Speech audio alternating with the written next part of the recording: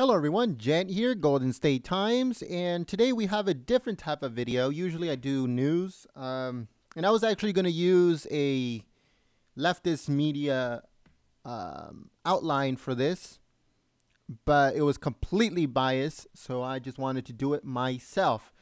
So today we're going to be looking at Donald Trump, President Donald Trump's cabinet members in all of the positions that he still has to fill Two of them have been filled. One of them is already confirmed. Uh, the term begins on January the 20th, which is the Vice President of the United States, Mike Pence. And the other one is Attorney General Jeff Sessions, but he is pending Senate confirmation. So we're going to go through all of the ones that he has to fill for his cabinet, and we are going all to also look at the people that might be on the short list this is not 100% sure, but it's the closest that we got.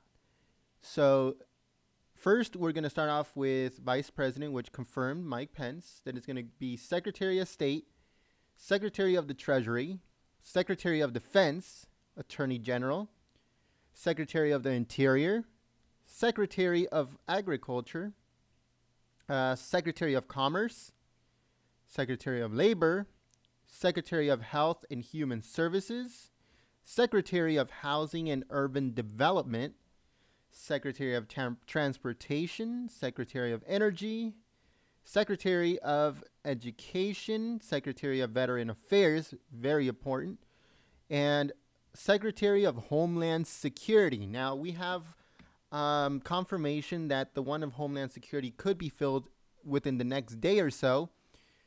President Donald Trump had tweeted earlier today saying that they're going to work very hard throughout this weekend that by Monday, a lot of these positions could be filled. So we're going to do an update when those confirmations come in, uh, maybe one by one, maybe one or two. So right now, we're just going to uh, focus on his cabinet, which is the main secretaries of everything. And, um, and then in another video, we're going to focus on cabinet level officials and we're going to go to other high level positions and stuff like that. So, for the Secretary of State, these are the people that are on the short list. And we got John Bolton. He's the former U.S. State Ambassador to the United Nations. And we got uh, Bob Corker. He's a senator of Tennessee, and he's the chair of Foreign Relations Committee. Rudy Giuliani, America's mayor. He is a United States attorney, and he's he was also the mayor of New York. Uh, Richard Haass, he is president of the Council of Foreign Relations. Nikki Haley, which according to South Carolinians, a terrible governor, but she is the governor of South Carolina. We got Zalmay Khalilzad. I hope I said that right. And he's the former United States ambassador to the United Nations also. We got Stanley McChrystal hope I said that right. He's a retired general of the United States Army. He commanded many troops in Afghanistan and Iraq. And we got David Petraeus. He's former director of the Central Intelligence Agency. And Jim Webb.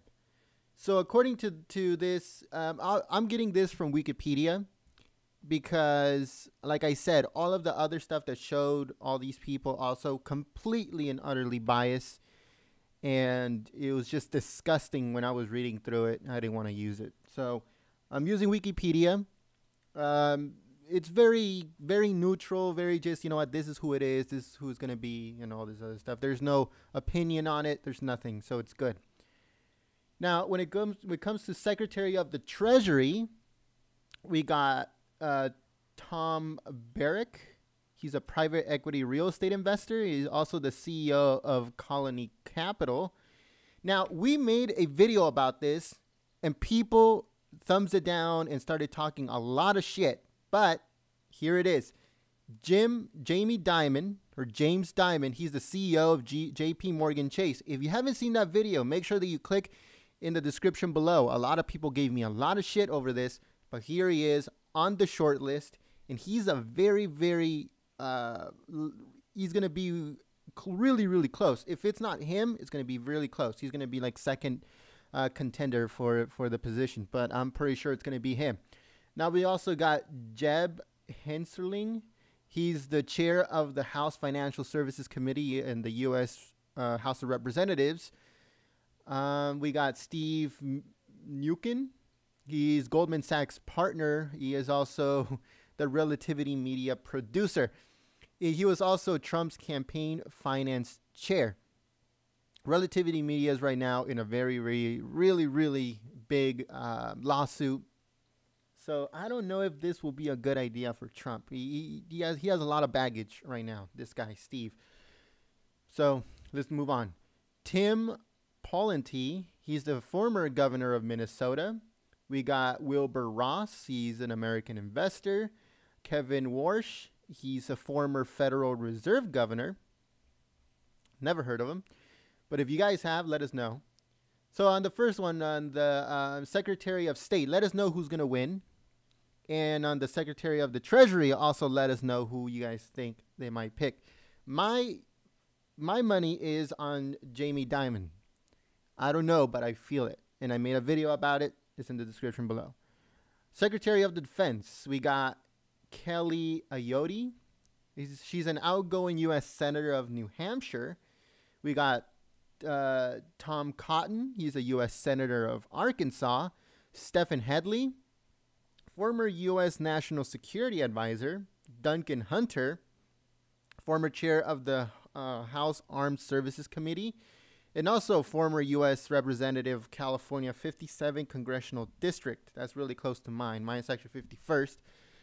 Um, Jon Kyl, former U.S. Senator of Arizona. And we also got Jim Talent. He's the former Senator of Missouri, who was also a U.S. Senate Armed Services Committee member. We got Jim Webb, former domestic. Oh, so, sorry former Democratic United States Senator uh, and also United States Secretary of the Navy, Jim Woolsey, former Director of Central Intelligence. Jim Woolsey. Okay, so let us know who you guys think might get Secretary of Defense. Um, out of all these people, I do not know not even one. so let us know what you guys think. Secretary of the Interior, we got Jan Brewer. She was on many, many uh, Trump rallies. Every single time he went to Arizona or any state that was close, she would always be there to introduce him, talk about him, and she pushed for him very hard in Arizona. She's the former governor of Arizona. Uh, Mary Fallin, she is the governor of Oklahoma. We got Ro- uh, Robert Grady. He's a venture capitalist, private equity investor. We got Harold Hamm. He's an oil and natural gas businessman, killer. Forrest Lucas, CEO and president of Lucas Oil. And this this is what you're gonna see a lot too, guys. I don't know if you noticed this, but a lot of CEOs, a lot of businessmen, a lot of hardcore killers are gonna go in. That you know, that that's what Trump wants. Trump wants somebody that's that's just you know, a killer. Like he said, he goes in, takes care of the deals, makes them happen. Does you know doesn't doesn't give any any uh you know any little nudge. He just goes in and takes care of business how he's supposed to. Uh, we got Cynthia Lummis. She's an outgoing U.S. representative uh, from Wyoming. Sarah Palin. She's a obviously a presidential nominee for vice president, former governor of Alaska. We got Richard Pombo. He's former chair of the House Natural Resources Committee. Uh, Mead Treadwell, former lieutenant governor of Alaska. And that's for Secretary of the Interior. Let us know who you guys think is going to win. On this one, I think Jan Brewer has a very, very good chance. But also, we uh, we also got uh, Harold Lamb, which Harold Hamm, sorry, he's very very close to Trump. He has talked about him before, and um, who knows on that one? Who knows? We got Secretary of Agriculture, and on here we got Sam Brownback. He's the governor of Kansas. Chuck Conner He's a former acting United States Secretary of Agriculture as of right now. He might keep his job. I don't know. Dave Heinz, Heineman. He's former governor of Nebraska. We got Tim Huelskamp, outgoing U.S. representative of Kansas. We got Sid Miller, Texas Agriculture Commissioner. So uh, we got Sonny Perdue. Hope I said that right. He's the former governor of Georgia. And we got Rick Perry.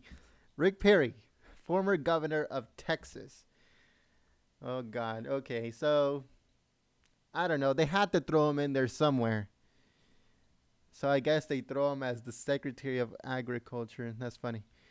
Um, on this one, I have no idea. Let us know what you guys think in the comment section below.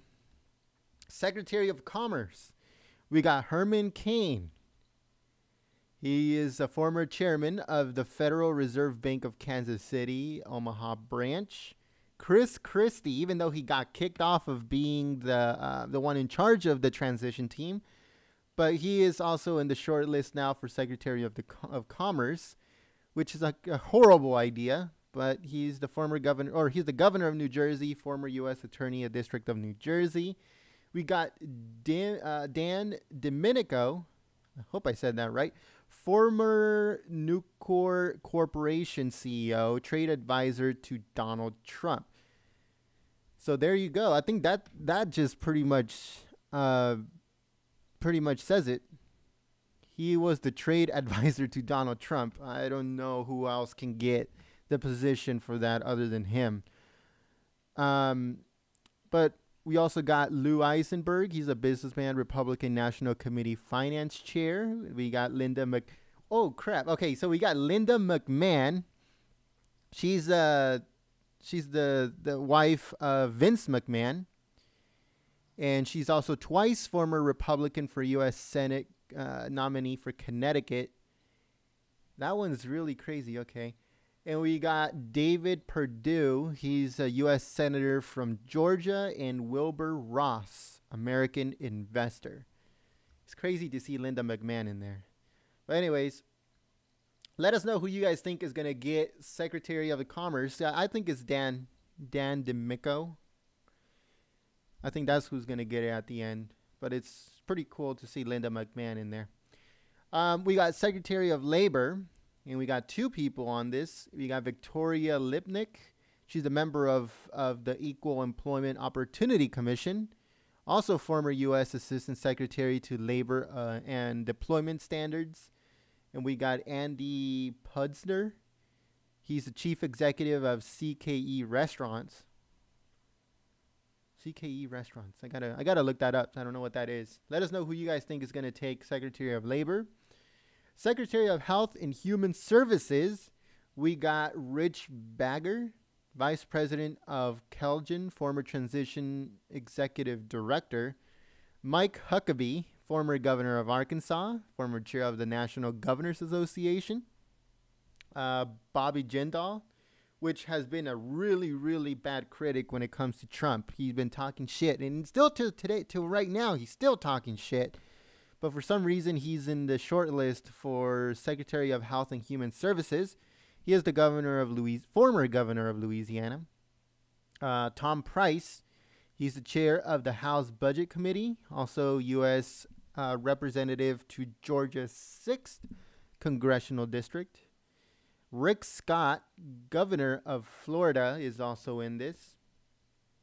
So there's a lot of people that were running against him. You got Mike Huckabee, Bobby Jindal, Rick Scott, a bunch of other people that were running with him. Um, now we go to let us know who you guys are. Who do you guys think is going to take this one? Now we're, we're moving on to Secretary of Housing and Urban Development. On this one, we got Rob Astorino. He's part of the the Westchester County Executives. Scott Brown, former United States Senator of Massachusetts. Rick Lazio, he's former U.S. Representative from New York's 2nd Congressional District, 2000 Republican nom- nominee uh, for U.S. Senator of New York. And we also got Pam Patenaude. Hope I said that right. President of J. Ronald Terwilliger Foundation for Housing American Families. Um, she's also the former director of housing policy of Bipartisan Policy Centers, former assistant secretary of HUD for Community Planning and Development. Holy hell. She has a really good resume. so who knows? On that one, who knows? She has a really good resume. But who knows if she did good while she was there? So that, that, it always goes one way or another. So if you if you want to let us know who might get this position, do it in the comment section below. Secretary of Transportation, Chris Christie's also in this. that's kind of weird. But I guess Trump wants to put him somewhere, but he just doesn't know where, where he'll fit best. Um, again, he's the governor of New Jersey, attorney, uh, U.S. Attorney of the District of New Jersey.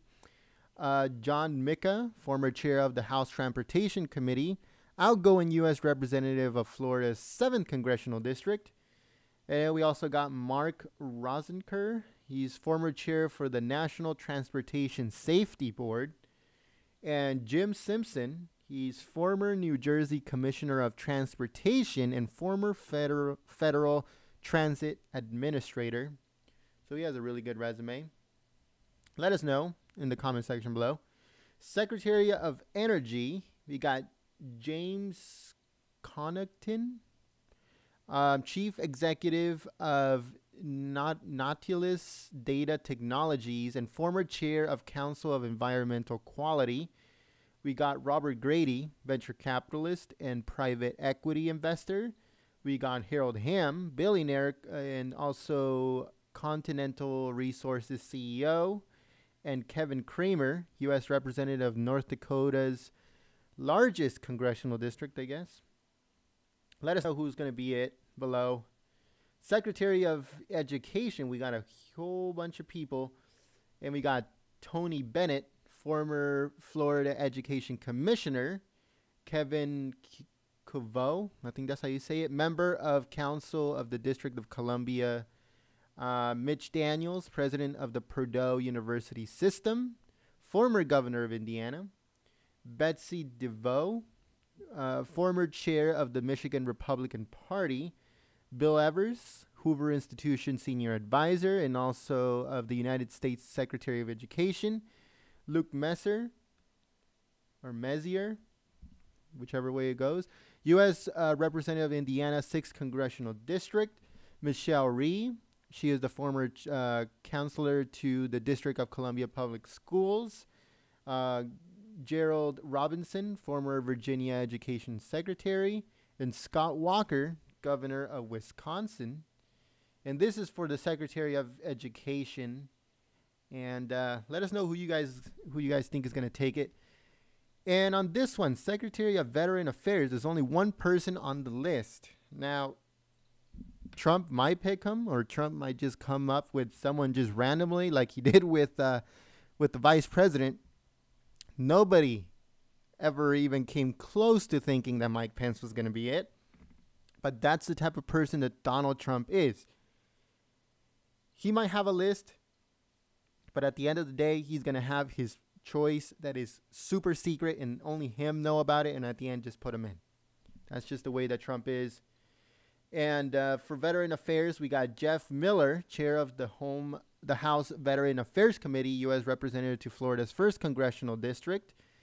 Jeff Miller. Let us know what you guys think. Is he going to be the Secretary of Veteran Affairs or not in the description below.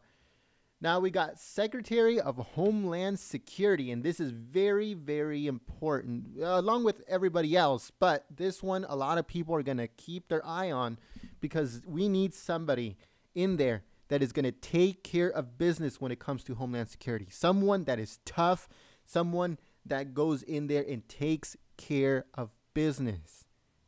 Okay, someone that is not going to have any wiggle room someone that is going to go in there and take care of anything that needs to be taken care of. And the contenders, we got Joe Arpaio. He's an outgo outgoing sheriff of Maricopa County. Very tough. We got Chris Christie, governor of New Jersey. I don't know why he's in there. Uh, David Clarke, Milwaukee County Sheriff. Very tough. I, I love this guy, David Clarke. That's who either David Clarke or Joe Arpaio are my picks, and I'm per- pretty sure that a lot of people's picks. But if I was to go between David Clarke and Joe Arpaio, I will go with Sheriff David. Sheriff David Clarke. because he has come out and said, you know what? This is how we take care of of um of rioters. This is how we take care of this. This is how we take care of that. So he will have a, a really good plan in an iron fist when it comes to Homeland Security. Sheriff Joe is very good on the border. Very, very good on the border. Nobody can, can say that. Um, nobody cannot say that uh, when it comes to to that issue. But when it comes to people rioting and people causing problems, he's not that good. And you know, yeah, his prison system is is perfect, but implementing stuff, he always has had a lot of problems. So we don't need somebody that has had a lot of problems trying to get things through. We're trying to get someone that is going to be tough and is going to push things through. So I think my my pick is David Clarke as uh, Secretary of Homeland Security. That's just me. Let us know who you guys think. Um, the other guys are John Katko, U.S. Representative of, New York's 24th Congressional District, and Mike McCaul. He's the chair of the of House of Homeland Security Committee and also U.S. Representative to Texas 10th Congressional District. So yeah, guys, those are the positions that are going to be filled soon. These are it, and some of them oh, actually, most of them are going to be uh, have to be confirmed by the Senate first before they actually go in. Um, the ones that have to be confirmed by the Senate is hold on, I'm going to tell you right now.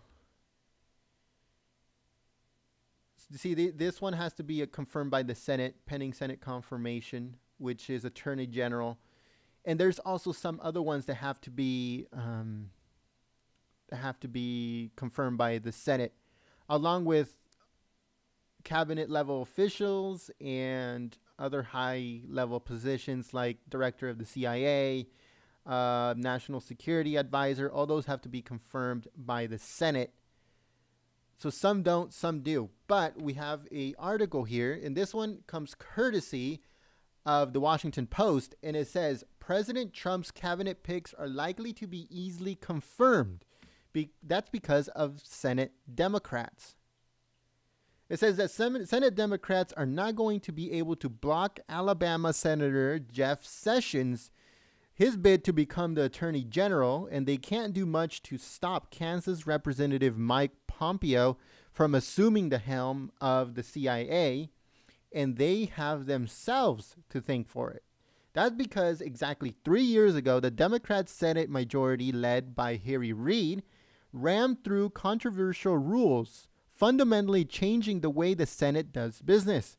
They unleashed in November of 2013 what they called the nuclear option, allowing senators to approve by a simple majority all presidential appointments to the executive branch and the, du- uh, the judiciary branch, with a big exception for the Supreme Court justices. It says that they took that controversial step because they were so frustrated when they saw what Republican what Republicans did on President Obama's choices for his administration and federal judgmentships. So under the new rules, it takes only a simple majority of senators to confirm such appointments instead of the 60 typically needed to uh, to force Senate action. So what the what the Democratic senators did basically just blew up in their face when it comes to this election. They thought that by doing that 3 years ago that it was going to help them, and it did. It, it probably did help them. But now here comes Donald Trump. And Donald Trump is going to come in like a train and he's going to blow through everything. All of these things that need to be confirmed is going to be no problem. He's going to pick, they're going to get confirmed, his cabinet is going to get filled. Boom. Trump administration. They thought three years ago, they thought so perfectly, oh, yeah, you know, we don't have to worry about these new changes that we're going to do because Hillary Clinton's going to be president. Well, here comes reality, and reality just slapped them right in the face. And that's what they deserve. So we have nothing to worry about. The only thing we have to worry about is getting the right people for the right jobs. And as of right now, Vice President Mike Pence, perfect choice. Attorney General Jeff Sessions, perfect choice. We got White House Chief of Staff Reince Priebus, really good choice. We got Director of uh, the CIA Mike Pompeo. I really don't know who he is. I have to look him up, get more information on him. But a lot of people are saying that it was a good choice. National Security Advisor Michael T. Flynn. Okay, General Flynn, very good choice. And um, that's what we know as of right now. We will be updating, we're doing update videos for every single one of them, but our next video is going to be about cabinet level officials. So stay tuned for that. But yeah, guys, thank you very much for watching. I hope that you guys enjoyed and you guys watched it all the way through. I know it's it's a pretty long video, but I just wanted to show basically what's going on as of right now. If you enjoyed it, please share it and also give it a thumbs up. Make sure that you check out our previous videos. They should be coming up on your screen. They're interactive. If you click on them, it'll take you to that video. While you're over there, give it a thumbs up and also share it along with this one. And if you are new to our channel, make sure that you subscribe by clicking the golden globe with a G on it it's interactive. If you click on it, it'll give you the option to subscribe. We hope that you join the community. We are we are alternative news media. So we we are here to give you the truth. We are here to let you know what's going on without the media bias. You know, like saying that Bannon is a racist. He's not. Okay? He's a nationalist. He loves America. He wants to he wants America to be first just like everyone else, just like Mike Pence, just like Jeff Sessions, j- just like uh, um, Sheriff Clarke, just like all of the people that, that, that President Trump are picking, they're all nationalists. They're all they all love America and want to see America prosper and become the powerhouse that it needs to be all over the world. So that's how it is. Okay? We are the alternative right. We are the, the new upbringing of the silent majority because we are here to stop all of the, the disastrous things that has happened over the, li- the last eight years. So make sure that you join us. Make sure that you stay here with us because we are here to give you the truth. So yeah, guys, thank you very much for watching. I hope to see you guys next time. But until then, peace.